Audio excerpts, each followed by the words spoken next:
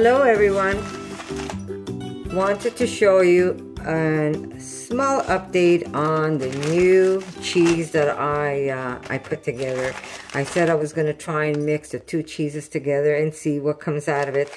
Now I made this on the 10th of July and I haven't opened it up since then.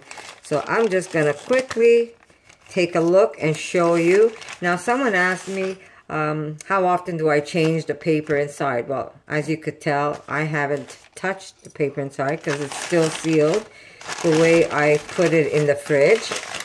And here is my cheese so far. The paper is nice and wet.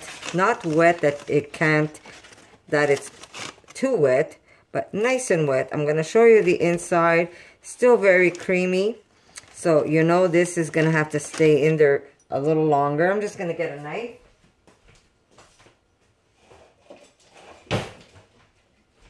Here we go.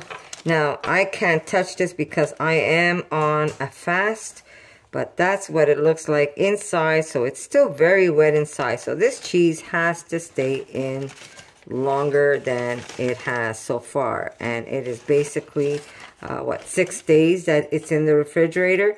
So it does have to stay in there a little longer. Uh, like I said, I can't taste this cheese. I can make my daughter just taste what it's like so far. Erica, can you just taste the what it tastes like?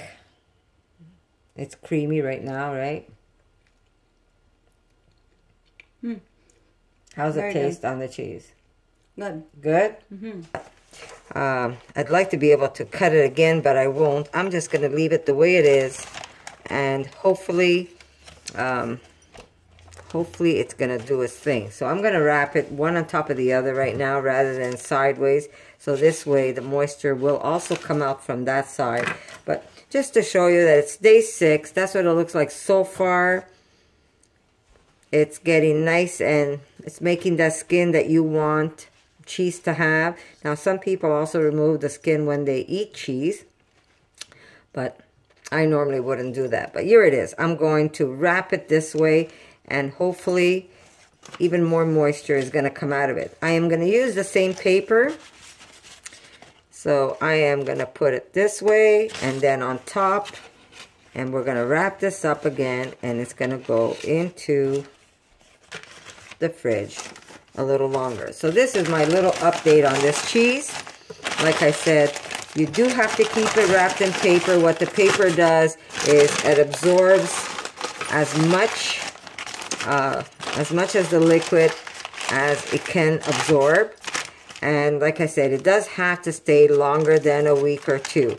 Uh, depending how you like your cheese. Now, this, like I, I was telling you, I, I mixed two cheeses to see how it's going to come out. Um, when you do see this, I've already posted the video of what the recipe is, and that means I was happy with the results of the uh, of the cheese. But I just wanted to show you the progress because someone mentioned um, how often do I change the paper, and to tell you the truth, I didn't change the paper in six days because this is the 10th and today we're the 16th. And when you see it, it's going to be God knows what date. But I just want to give you an idea how it works. But taste-wise, my daughter said it was good, right, Eric? Mhm. Do you find it salty? Was it too much salt? Should I... No, it's good. Salt was good. So uh, hopefully when I check it again for a new update for you, uh, you're going to see a difference in the texture of the cheese. And maybe my daughter will also take a nice bite or by then hopefully I'm I should be off this water fast and I can taste the cheese. I'm not going to go too long on this water fast but right now I cannot touch it. So uh, my daughter said it's good. So I'm happy with that. But I just wanted to show you it's still very wet inside the cheese and you want that cheese to also kind of dry up where it's almost like the one I showed you in the beginning. So wish us luck Hopefully this cheese is going to be fantastic. And if not, I'm going to be back at the drawing board. Good morning, everyone. Here we go. This is that cheese, my new recipe.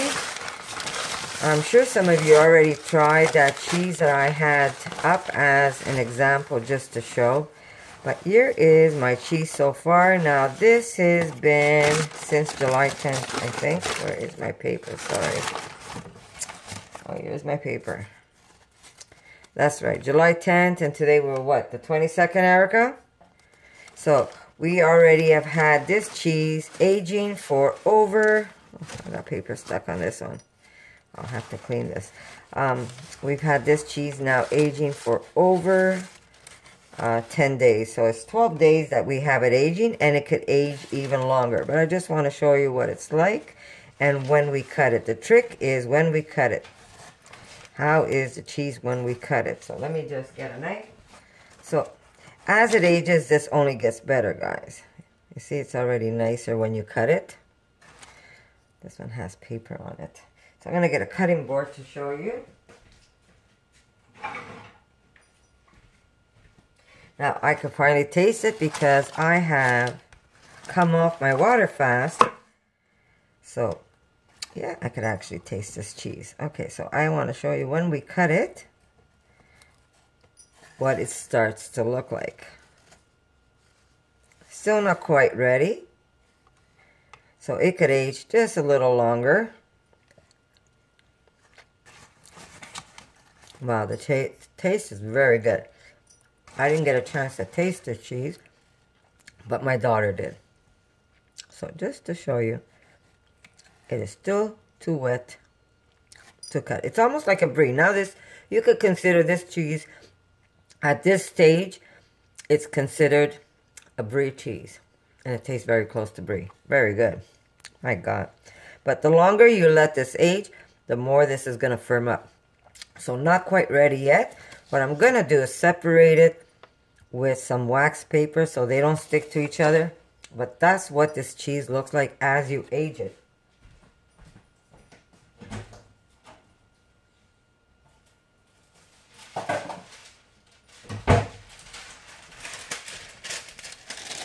So back for aging. And I'm just going to put one on top of the other here. A little bit of but how beautiful is this cheese, guys? So I hope you give it a chance and try it out. But the cheese is excellent. Actually, I should leave it out because my daughter's going to want some for sure. But there is that beautiful cheese. This now, I would say it is at the stage of a brie cheese. You know how brie cheese is very nice and soft inside, but still cuttable?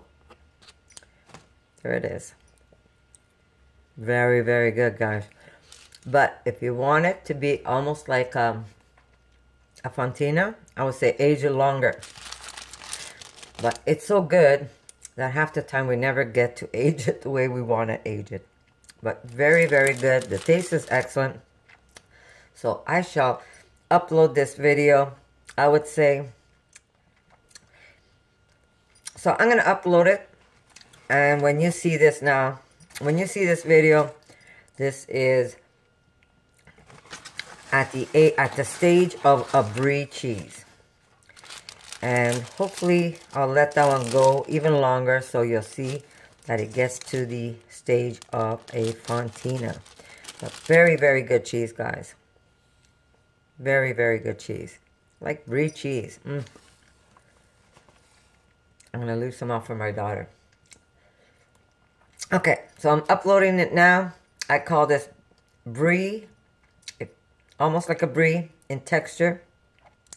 Firm, but still very creamy inside like a brie. And this other one, hopefully I should wait. When I do cut this open, it's going to be nice and firm like the fontina. So this is the mixture. This is the cheese where I mixed half of the fontina one that I pulled, that I put up, um, that I put up on YouTube already and there was that other cheese that I told you I like the taste, but I wasn't crazy about the texture. So this is the mixed cheese, and it is really, really good. Excellent, excellent cheese, guys. So um, I say go ahead and try this cheese, but like I said, also wait for it to get to the point that you want to get it.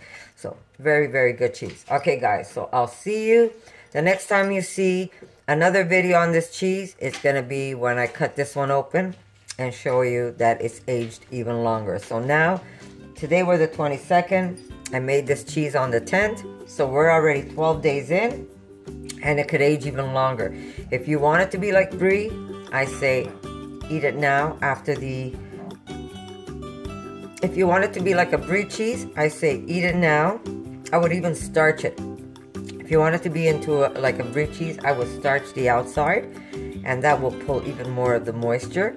And uh, if you want it to be more like a fontina, like this half is gonna be, I say let it age longer. But the cheese is excellent. You could even take some beautiful basil and eat this cheese. Look at that. With some basil. Erica, do you want to try it?